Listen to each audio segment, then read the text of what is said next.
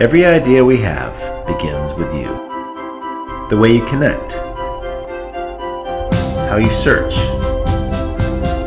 how you share, and how you interact with the world around you. Down to the last detail, you inspire everything. Because in the end, innovation doesn't really matter unless it does something that really matters.